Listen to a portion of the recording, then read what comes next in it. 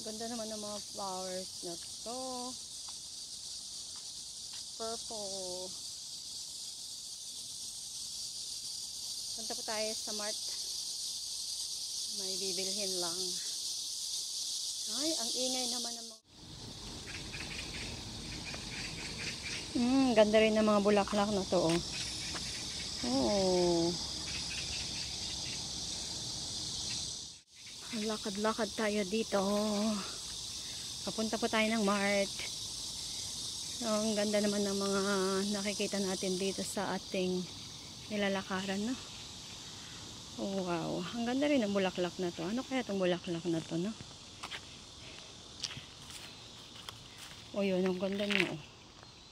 Hmm.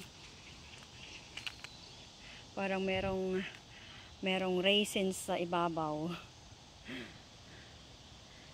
Ganda niya lang. Hello! Ayan, maglakad tayo papunta sa Mart. No? May bibilhin po tayo. Meron sana akong lulutuin pero wala tayong sangkap. Kaya heto, napatakbo dito sa labas. Punta tayo sa Mart para magbili ng ating mga sangkap na kailanganin sa ating pagluluto. Ayan, buti na lang malapit lang tayo sa Mart. Kaya anytime pwede tayo yan lumabas. Ayan, takbuhin lang natin yung ating mga kailangan.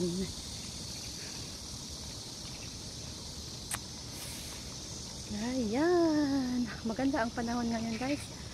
Pero kanina mainit pero ngayon parang uh, uulan. Kumulimlim na naman. Ayun. Palagay ko uulan ngayong gabi. Kaya mayroon na naman tayong ulan.